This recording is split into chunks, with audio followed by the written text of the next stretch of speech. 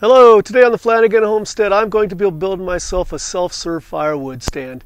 Uh, I've been wanting to do this for a long time, but I didn't have a place to put it. But uh, if you've been following my channel, I did buy a piece of property seven acres below my existing property that helps give us access to our property.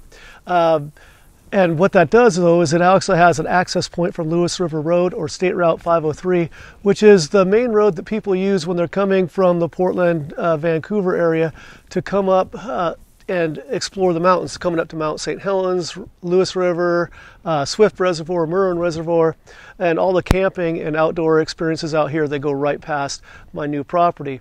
So there's a lot of need for firewood. I had a friend who tried this at his place and did fairly well. Uh, but he, he wasn't taken advantage of. But his stand was right by his house. He could see it from his house. This stand that I'm putting in is going to be out in the middle of nowhere. Nobody can see it from their house. So it'll be interesting how honest people are. If people are going to steal my wood, if they're going to try to break out my lockbox, I don't know. So uh, I don't want to put a ton of money into it, but I had access to this 6x4 shipping crate, fortunately, that's really heavy. So it's going to be the base of it. And I'm going to put, I had some old metal left over, I'm going to put a roof over it. i will put bundles in there at $5 a piece. And I'll see if people are actually uh, taking the wood and depositing the money or if they're taking advantage of me. Uh, I like having this crate because it's heavy enough you can't hardly move it so it'll hold up the roof and everything else but I don't have to put posts into the ground in case I decide this isn't working. If it does work really well I'll be excited because uh, I'm going to try, I quite often have free range chicken eggs for my chickens that I'd like to sell. I might put those out, uh, extra fruits and vegetables, berries, or sometimes like I, right now I have 30 tomato starts that are going and I'm going to put five in my garden. So uh, I might sell off tomato starts and just see if this is almost like a farmer's market stand out in the middle of nowhere if it works. Don't know if it will, but we're going to make the make the stand today, and uh, then I'll give you an update later on how it's going. Oh, and I forgot to mention, uh, the property that I'm developing, I'm putting in a tiny home, a little getaway house to rent out, an RV pad, a couple campsites, and I plan to build a tree house that people can rent for hipcamp.com and uh, stay in. So obviously, I will be creating my own market for firewood right there as well.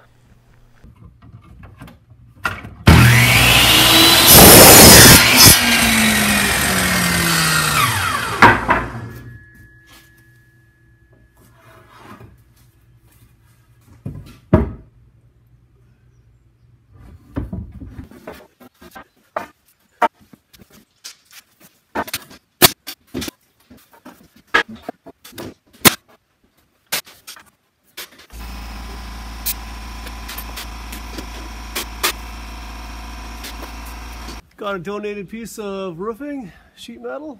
Gonna cut it up into three pieces, keep this uh, firewood stand inexpensive.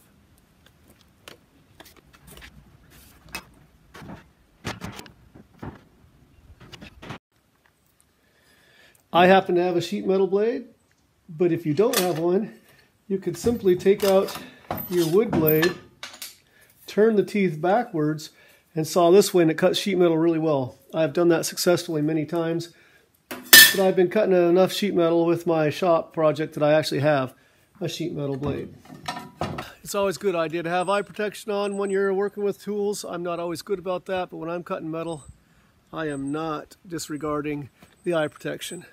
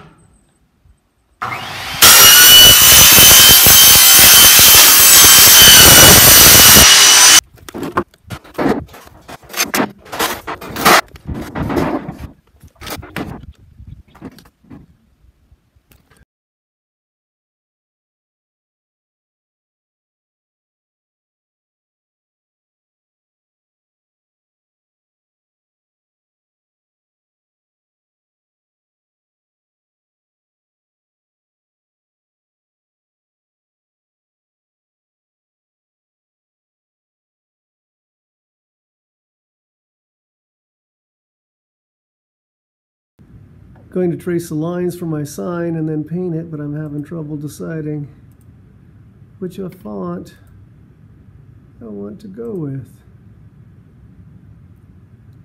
Decisions, decisions.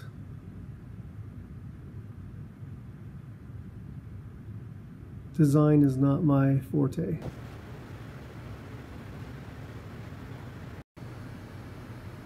There's the outline, just got to fill it in with paint now.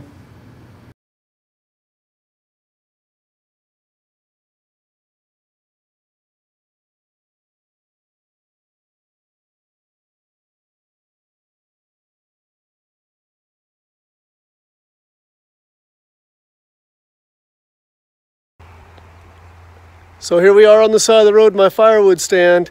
Uh, I know the firewood's going to go, but is money going to be placed there and people going to leave the money box alone? This is kind of a social experiment. I've had friends that have done this before, but it's close to their house. And if you could see here, I'm going to give you a 360 degree view. You cannot see another home, another driveway, another anything out here. It's just open space. And then the driveway to my new property is right here. Nobody currently living on it. So with it being this secluded, are people going to try to take advantage of it? Or are they going to buy the wood and leave the money? We'll soon find out.